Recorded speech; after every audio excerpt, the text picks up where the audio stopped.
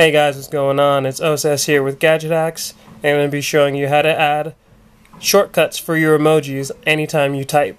So the first thing we want to do is hop into settings. We're going to make sure that we have the default keyboard, the default English keyboard enabled, because it does not work with um, third-party keyboards like SwiftKey or Swype.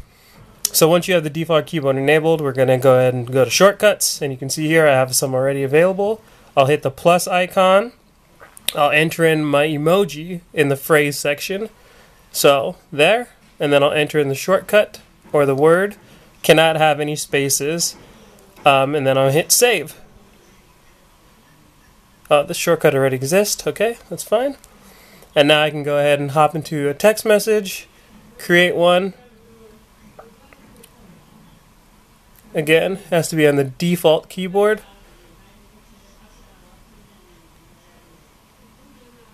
And you can see that it appears right there. I hit the space button or I tap on it to enter that in.